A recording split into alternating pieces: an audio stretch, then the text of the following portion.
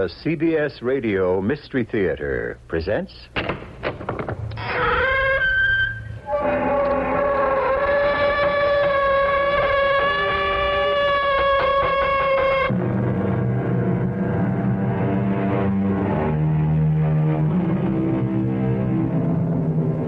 Come in. Welcome. I'm E.G. Marshall. There's a haunting, lovely song in Shakespeare's Twelfth Night which has troubled my dreams, and perhaps yours. Come away, come away, death. Let me in sad cypress be laid. If it hasn't haunted you yet, perhaps it might after the story I bring you now. A story which, not unsurprisingly, has to do with death. What are you doing here? What do you want? I've come for you, Mr. Brokaw. It's time. What do you mean, come for me? It's time. Who are you? The name of Morris is good enough for day to day use and creates no difficulties. It is borrowed from the Latin mors. My name is Death, Mr. Brokaw, and I have an appointment with you.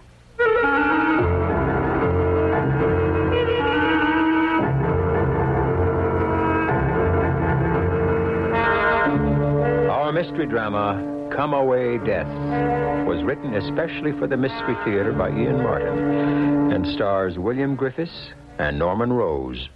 It is sponsored in part by Ex-Lax and True Value Hardware Stores. I'll be back shortly with Act One.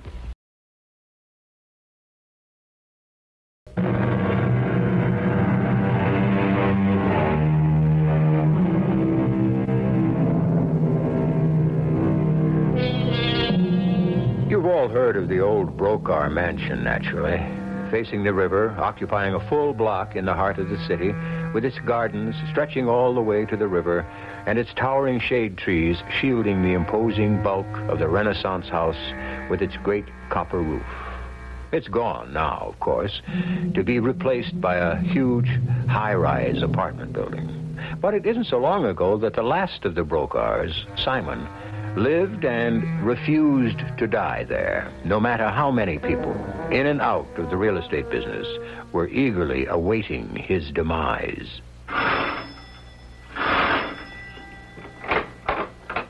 Oh, good evening, Mr. Rensselaer. Good evening, Mrs. Marples. How is Mr. Brokaw? Why, he seems to be better, sir. Is the doctor still with him? No, Dr. Manning left just a few minutes ago. Uh, they're not putting him in the hospital again? oh, Dr. Manning said not. I. I Yes, yes, yes. What is it, Mrs. Marples? Forgive me, Mr. Rensselaer. Just the doctor, and now you here. Oh, I've been with Mr. Brokaw as housekeeper for over 35 years. And I don't know anyone else who could have taken it, Mrs. Marples. Oh, he's a difficult man. Like all strong men. Oh, that's what's so awful, I suppose. He's still a big, lusty, healthy man. That he should be cut down in his prime like this. Dr. Manning thinks it's that uh, imminent. Well, you'll have to ask Mr. Brokaw about that. Or the doctor himself. Well, well, since I've been called in, I, I can guess perhaps it is. I'd better get on up, or is he resting? Uh, no, no, he wanted you shown up right away. I better not keep him waiting. Uh, uh, Mr. Rensselaer, Yes? uh, do, do you, will, will he be changing his will? I- i- Is that what it is? No, I don't think you have anything to worry about, Mrs. Marple. Oh, it wasn't myself I was concerned about. It, it was Miss Nita. Oh, yes. Well, you understand, there's nothing I can say one way or another. Oh, that sweet little niece of his has given up her private life to move in here and help nurse Mr. Brokaw ever since that first attack of. Well, ever since they discovered that he was ill. And I'd hate to see her left out in the cold if anything happens. I don't want to see her lose out to that cold, greedy little trollop who, in my opinion, is more than anything else responsible for the state he is in now. Oh, can't you do something? Mrs. Marples, I am a lawyer. I appreciate and applaud your concern, but uh, that's as far as I can go. Is uh, Nita here now? Yes. Uh, she's in the library with her fiance, Dr. Lawrence. Uh, very well. Perhaps I'll have a chance to talk to her for a moment when I come down. Now I'd better get upstairs.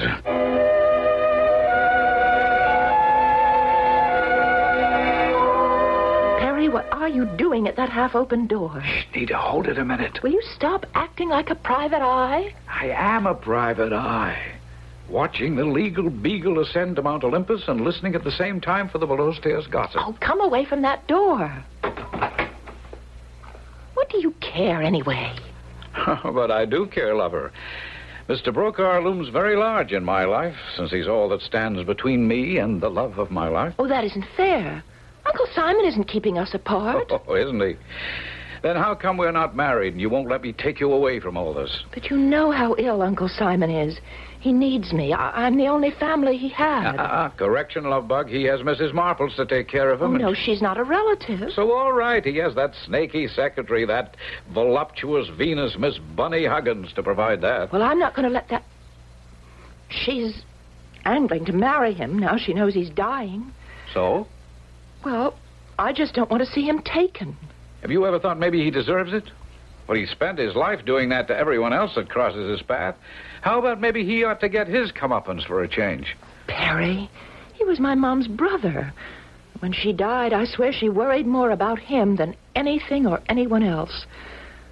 I mean, it was crazy. She was ten years younger, but she always treated him like her baby brother. That barracuda? Mom said all that hard stuff was just a front. Come on, Nita. As far as her brother Simon was concerned, your mother was blind as a bat. Maybe, but but I've still got to hang in, do what I can. Nita, What? it, uh, it isn't the dough, is it? I mean, look, I'm not going to be an intern forever. No, it isn't the dough. It's just well, I don't want to see someone who's well, sort of my own get taken. And as long as there's any way of shutting out Miss Bunny Huggins, I feel I owe at least that much to my mom. How about me? Oh, darling. Can't you wait just this little bit longer? You're sure of Dr. Manning's diagnosis? I am a registered nurse. That's why I came here. I mean, there's no chance of remission. It is terminal. No chance. It's terminal.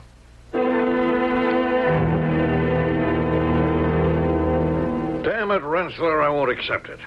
A little pain, all right, but die? Oh, not me. Not Simon Brokaw. I have too much left to do. I'm not about to die, no matter what the doctor says. And uh, what am I here for? To change my will. Why does it have to be changed in the prime of health? Because I've made up my mind. I'm going to take the final step at last. At 55. I'm going to be married. Well, congratulations, I suppose. Do I know the intended bride? Well, of course you do. Who else would I... Want me Oh. to get done? No, no, I'll get up myself. Hello. Simon? Oh, Bunny. Who else? No one. Oh, I knew that deep, ticklish, sexy voice the moment it answered. oh, am I interrupting anything? Oh, no, no, no. Well, uh, just a conference with my lawyer. Oh. Oh, do you have him there, darling? Why? Well, it seemed about time. Honey, you haven't been feeling sick again, have you? Oh, no, it's nothing for you to worry about. Oh, but of course it is. You know how I worry all the time. Now, Bunny, when, when I get through with my lawyer, you won't ever have to worry again. Oh, but I do, darling. I don't want anything to happen to my baby. A girl has to be practical. Just a reasonable settlement. Yeah, well, let me suggest it. Joint property when we're married and sole heir if anything happens to me. Married? Bunny, is, is that enough? I I need you so much. Oh, you draw those papers up, darling, us, and at last we'll be what we always should have been together. If you need me, call me. If not, let's have a lovely drink together when we sign the wedding agreement. Oh, I love you. Yeah, I love you. Bye now. Bunny, I. Oh, bye. All right, Rensselaer. Let's get down to business. I want to redraw my will. Well, before we do that, can we talk just a moment? Oh, lawyers. All right, what about? What is your hurry to rush into this marriage? Well, I don't know how long I'll be around to enjoy it. Simon, I can't. There isn't any discussion, you see. Now or never. And I choose now. All right, this is for the present, Simon, but do you have to mortgage yourself for the future, too? You're a man of my age. Wouldn't you be tempted to mortgage your future, too, for a girl like this, or someone like her, that no man could ever sensibly dream of having unless. Unless she was bought and paid for. We'll pretend that that was never said. Just let me go in my own way, and the devil take the hindmost.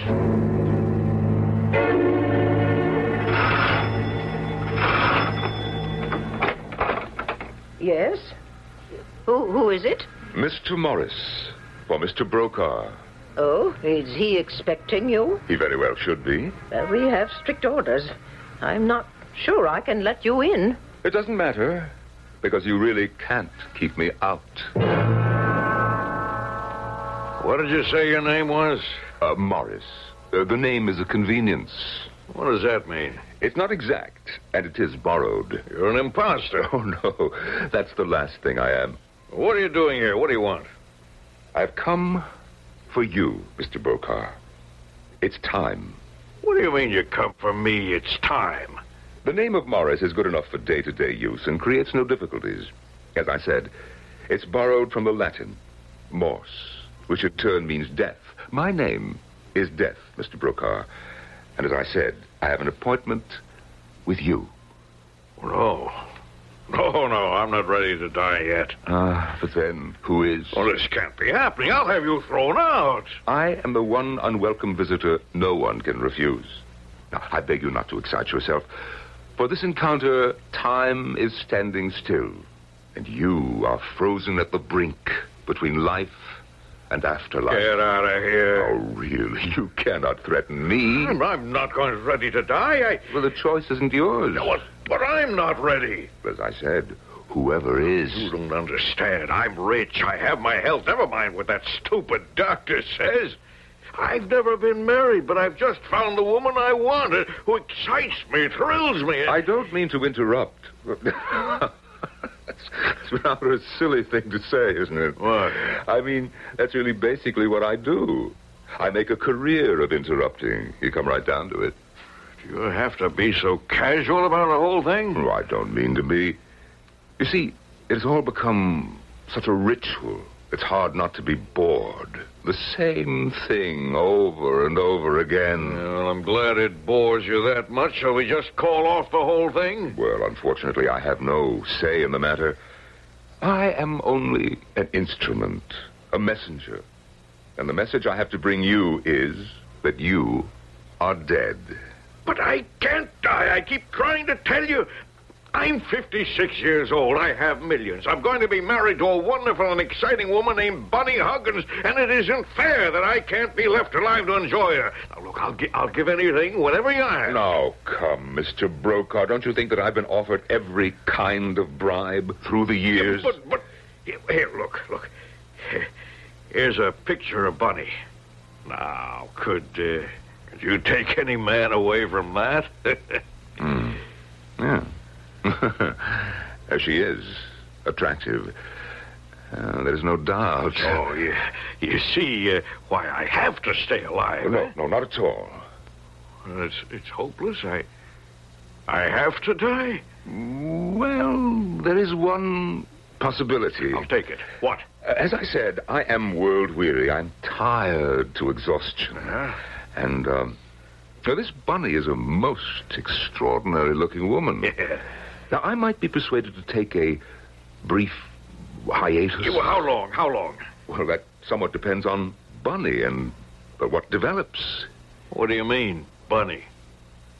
Mr. Brokaw, if I should make any arrangement with you to hold off your demise, well, naturally, there would have to be some transference of personality.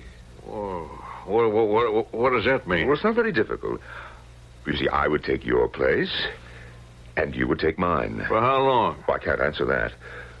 For as long as it suits. Well, now, wait, wait a minute. You, You take my place, I can imagine, but uh, I take your place? Wh- wh- What? Yes, you would become a messenger like me. Oh, it's quite a busy job. I'd go around telling people they're dead? Oh, somebody has to. But, uh, well, how would I know which ones to go to? No problem at all. You'll be told.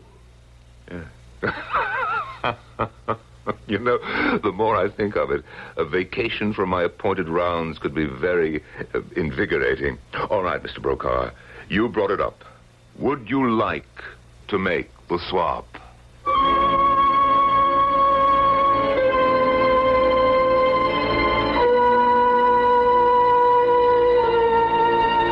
Is a curious and rather new situation, isn't it? The devil tempts. The devil makes a bargain for the human soul.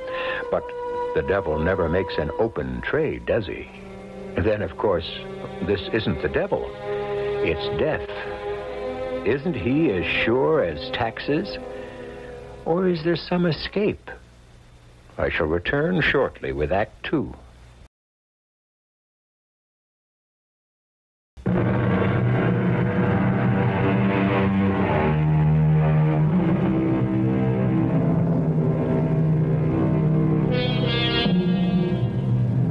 We return to our strange confrontation.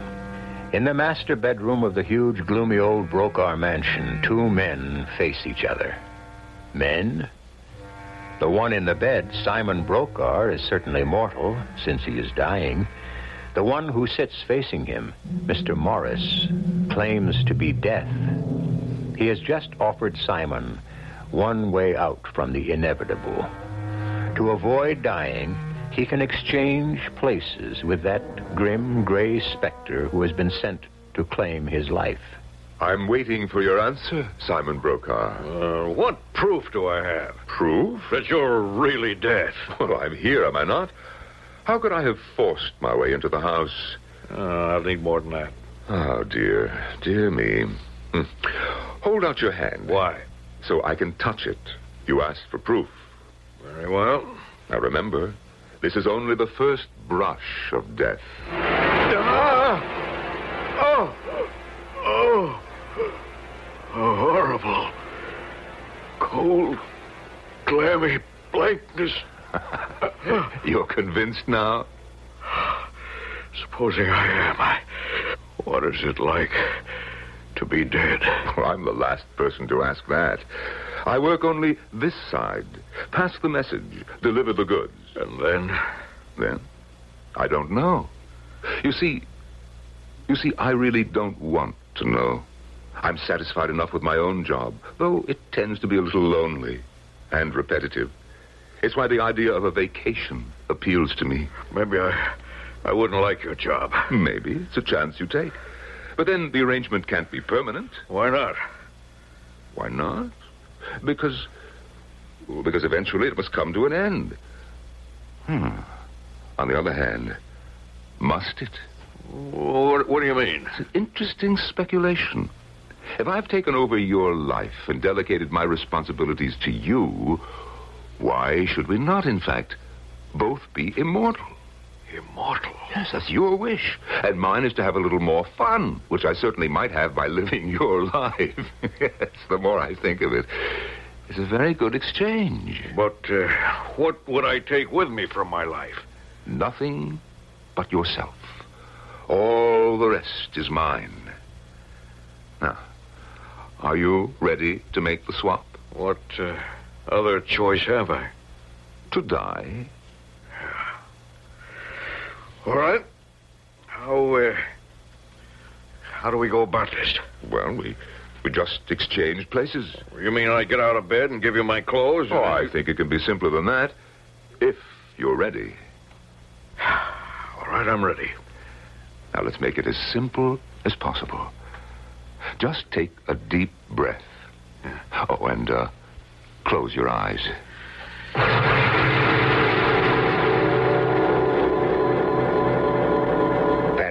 It, I think. You can open your eyes. You feel any different? Of course, I feel different. I'm sitting in the chair now while you're in the bed. Naturally. We've exchanged places. That was the idea, wasn't it? Yes, but it, but I, I'm not ready. I don't know what to do. I told you. You don't have to. You will be told. Yes, but I can't. You. You hear something? Yes. I can't stay. I'm being called. I'm needed somewhere else. oh, that's the way it goes. I began to find it deadly tiresome.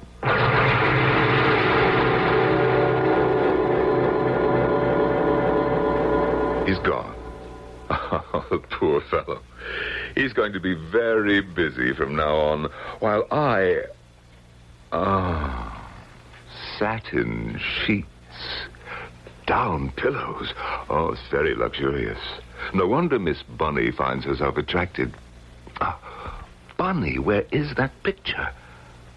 Ah, if the presence lives up to the picture. Now, let's see. He must have her phone number in a book somewhere. Ah, what was the name? Ah, yes, Huggins. Oh, what promise in that name. Ah, here we are. Bunny Huggins.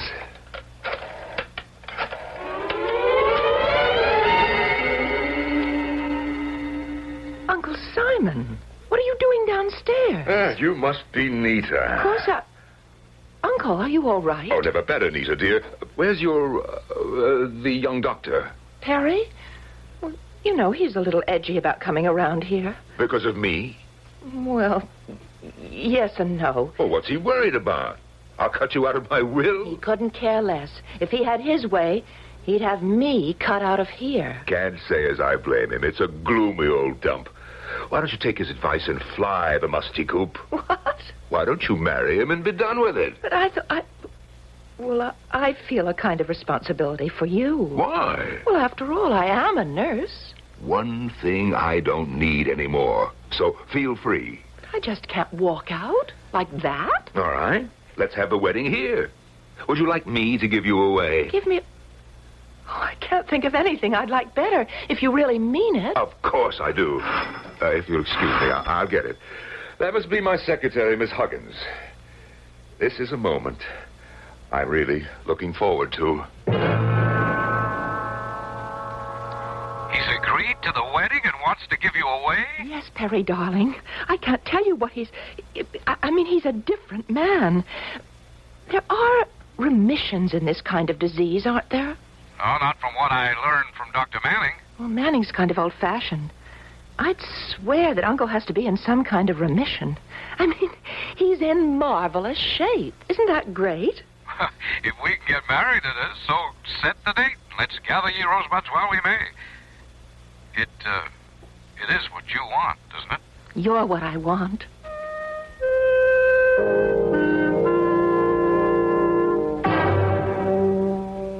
But, Simon, sweetie, why couldn't we make it a double wedding? Because I'm not quite sure that I want to get married. But I thought that was all wrapped up and delivered some time ago.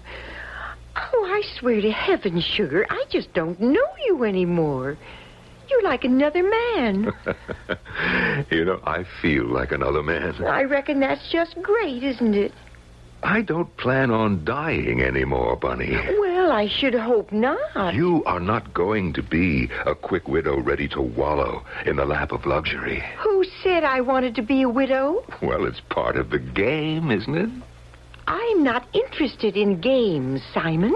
Even the ones of chance. You still could win the jackpot. If I decided to go. You would walk out on me just like that? Oh, I swear, Simon, honey, I don't know how to talk to you anymore. You're.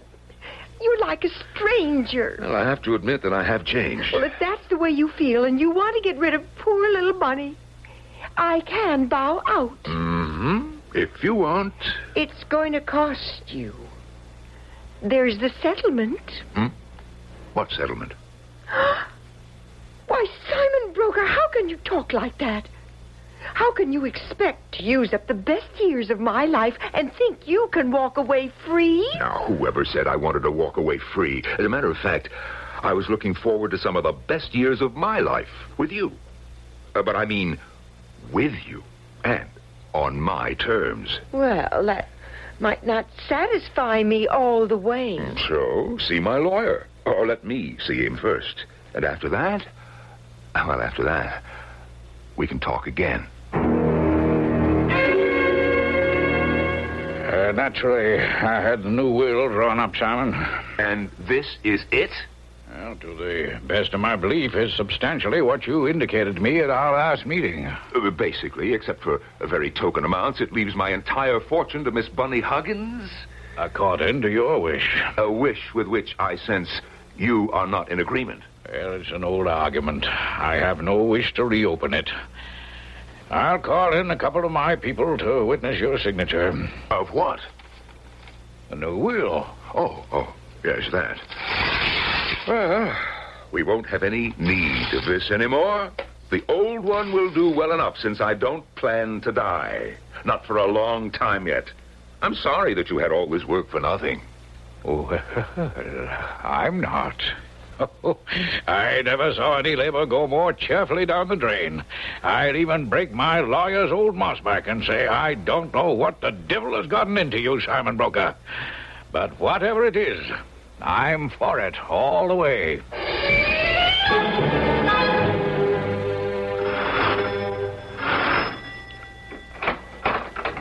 Oh, good evening, Mr. Morris. It's you again. Yes, Mrs. Marples. Uh, may I come in? If you feel you must.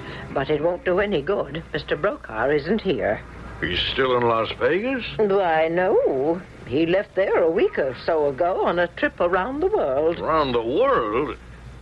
Is, uh, is, uh, Miss Huggins with him, do you know? His secretary? Yes.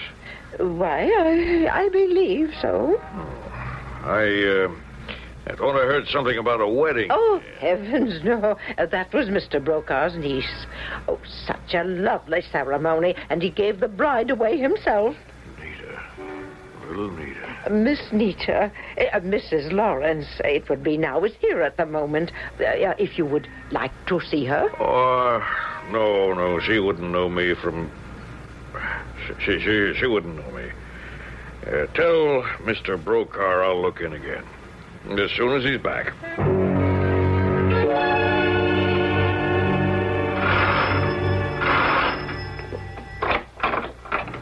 Good evening. Can I help you? Oh, good evening, uh, Mrs. Lawrence. You know me. Well, of you. My name is uh, Morris. I'm uh, an acquaintance of your Uncle Simon. May I see him? I'm afraid he's not here. Oh. Why, I thought he was due back from his trip. Oh, yes, we're expecting him as it happens. Well, then I wonder if I could just come in and wait. Well, you- uh, tonight it might be a little inconvenient. Uh, it's rather pressing, and I seldom have time Don't to. bother about the bags, Bunny. The man will get them. Well, I just need my cosmetic bag. You don't need that or anything else. Now let's get in and tell everybody the good news. Hello.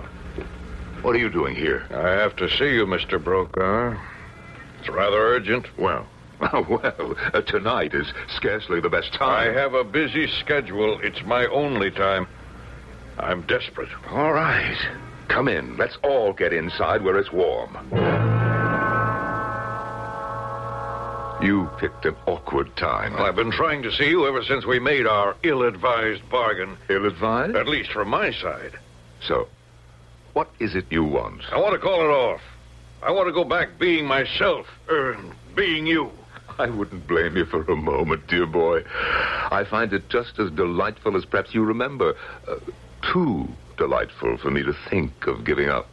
You see, I am perfectly satisfied as things are, and I wouldn't change them back again for the world.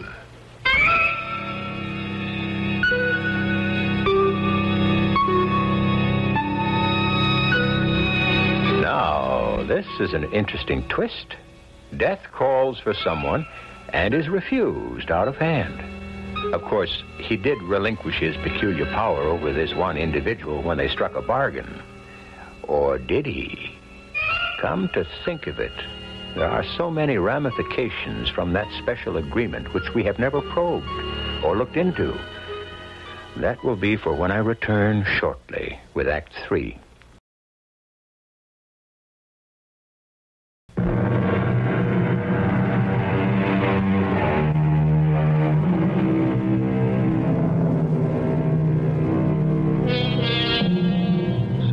Here we are with another confrontation. The same principles, but a vastly different set of circumstances. A man comes to death to beg for his questionable gift and is refused by death, who has found that the joys of worldly living are infinitely preferable to the cold, lonely world he used to occupy. While apparently Simon Brokaw, who eagerly exchanged his world for death's barren one in order to escape dying, is bitterly regretting his bargain.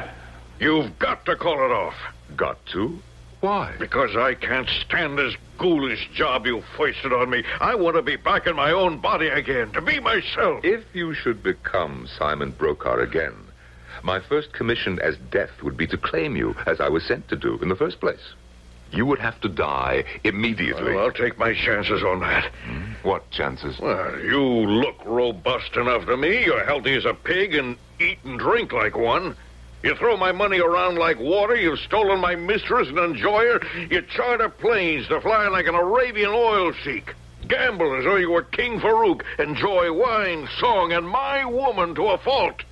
You certainly seem remarkably healthy to me. My dear Mr. Morris. Don't call me that. It's your present name. Oh, very well. Death, if you prefer. I don't prefer. I'm Simon Brokaw. Were, my dear man, were. I am now Simon Brokaw. And after such a long contact with the dead and dying, I haven't the slightest intention of giving up my contact with the living. First, I have never been so happy and satisfied in my life. Second, while I occupy the body of Simon Brokaw, it functions at peak performance. To let you reoccupy it would be a total waste, since life would be snuffed out in that moment. And last, I don't want to return to being the messenger of death ever. I can't blame you for that. There isn't a moment's peace. It does keep you hopping. There's no enjoyment in it. My friend, you chose to be where you are. You live with it. Supposing I just plain up and quit. Oh, you can't do that. How do you know? Did you ever try it? Hmm? Well, no, but. Ah, there you see. You hear that? What am I going to do? Ask not for whom the bell tolls. It tolls for thee.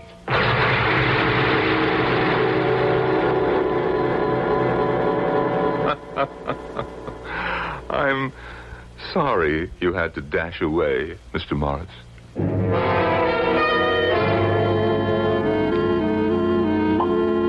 So, here we are. A little cognac all around to celebrate the first uh, family dinner since Bunny and I returned. Oh, thank you, Uncle Simon. Mr. Brokaw? Sweetheart. A little toast to our future together, whatever it may be. Cheers. Oh, Yes, yeah, very sure. light air. Perry?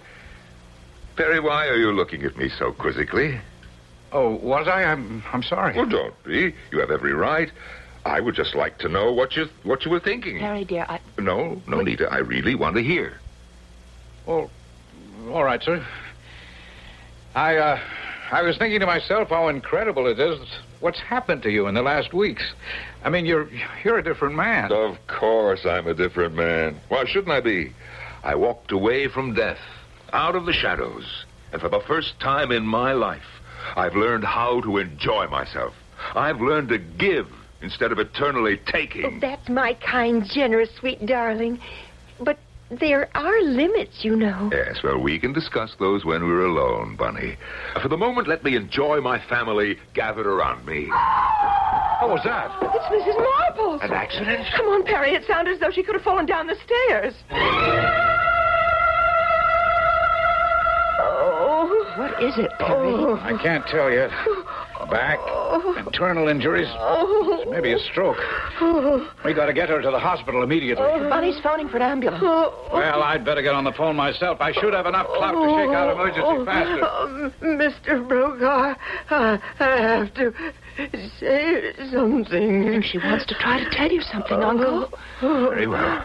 Uh, Mrs. Marples, what are you trying to say? The man, the, the, the thing, he, he was here. What man? What thing? He said the bell tolled f- for him to come for me. But to tell you, he would come no, no more. Is she dead? No, I think she's just lapsed into a coma. Oh, Perry, Yeah, what is it, Nita? is the ambulance coming? Yeah, it's on the way. Well, you'd better have a look at her. She dead? I don't know. There's no pulse, no heartbeat, but she's still breathing. It's like she was. I, I- I don't know how to say it. It's. Like she had died, but death hadn't come to claim her.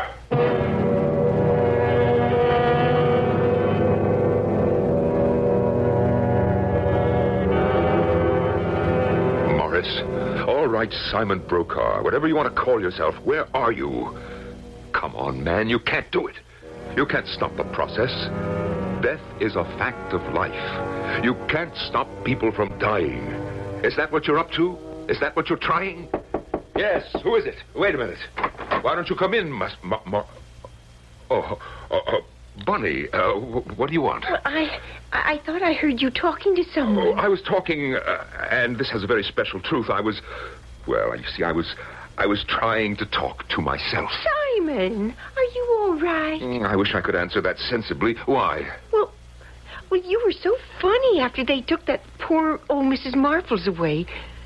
I know you must have been very fond of her, but well, she was an old, old lady, and even if it was an accident, she had to die sometime. Yes, Only she didn't. Didn't what? She didn't die. Won't die. Can't die. Oh, I don't know what you're talking about. It was Macbeth who said he heard a voice say, Macbeth, does murder sleep? Ma- well, who's Macbeth? He's a character in a Shakespeare play. Well, what's he got to do with us? With me, Bunny, with me. You see, I just may have. I may have murdered death.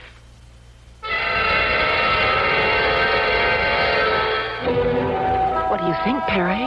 What could I think? I'm only a month out of internship. Every big shot doctor in the hospital has done his own workup on Mrs. Marples, and no one can explain it. Look, this isn't like you could pull any plugs. I know, Nita. We're not sustaining life in that old lady. I mean, medical science isn't. But what life is there? No heartbeat, no circulation. The encephalograms are flat.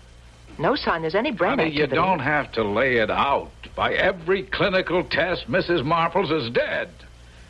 Except one. She's still breathing. She's, tell you, it's weird. And she's only part of it. What do you mean, Perry? Look, look, honey, how many of our terminal cases would we have expected to lose in the last three days while Mrs. Marple has been here? I mean, in the ordinary course of events. I don't know. Five or ten, maybe. In a hospital this size, more like 15. And how many have we lost? None. I can think of six of them in my wing alone that are just like her. And, and we're not alone. I mean, I, I've been checking with other hospitals and the police, and even the papers have been making cracks about it. Do you know there hasn't been one obituary notice in these last few days? No homicides, no people died in traffic accidents, nobody drowned or strangled or, or, or slipped in the bathtub or fell off a building or burned up or. I tell you, Nita, it's like. I, I'm afraid to say it. Say what, Perry? Come on. Say it. It's like maybe nobody's going to die anymore.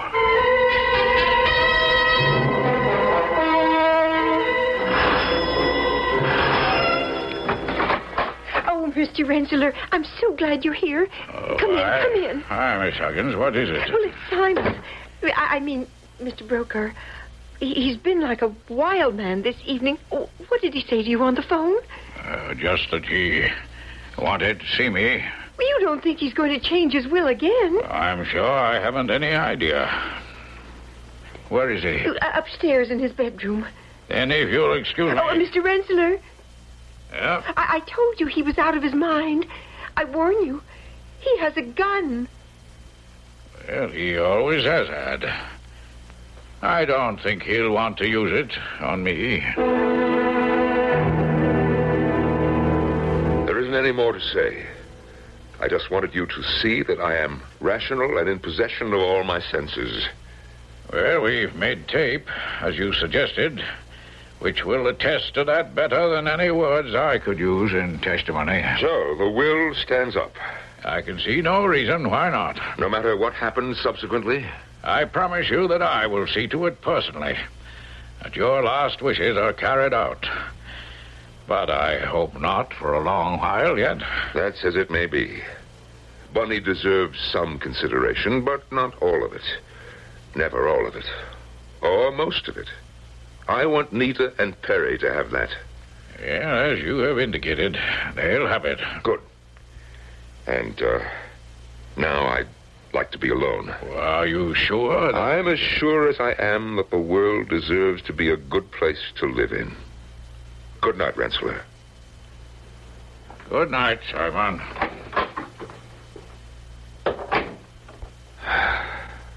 Which it never can be unless death has a place in it again. My name was Death. I relinquished it for trivial reasons. All over the world, a frightening horde of those who should have passed over are waiting for this moment.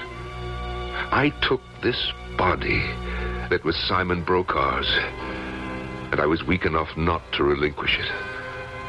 I want to give it back. Return, Simon Brokaw, who has broken the faith. Return.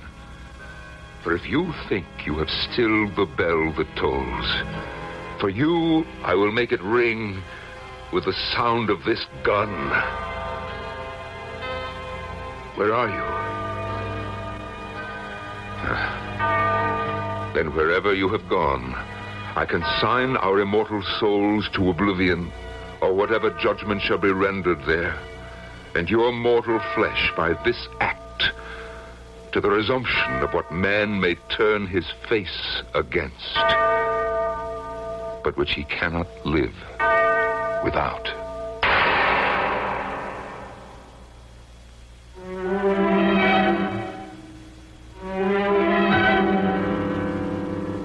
It was a night long to be remembered. There were a record number of deaths. A strange epidemic that had no discernible cause, but which seemed to restore a balance in nature. Among the obituaries was one for Simon Brokaw. In none of them was there any mention of a Mr. Morris, which is not too surprising, of course, since he himself was the one who pointed out that his alias was merely a convenience, that his real name was Death. I'll be back shortly.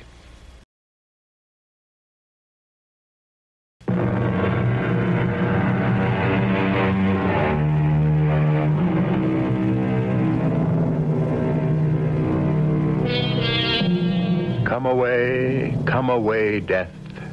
Let me in sad cypress be laid. But if you ponder it a while, is it so sad?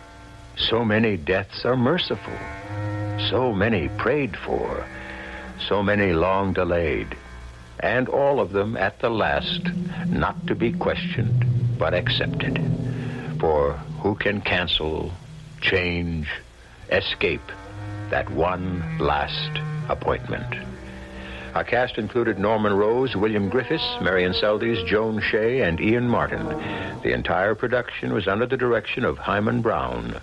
Radio Mystery Theater was sponsored in part by Contact, the 12 hour cold capsule, and Greyhound Package Express. This is E.G. Marshall inviting you to return to our Mystery Theater for another adventure in the macabre. Until next time, pleasant dreams.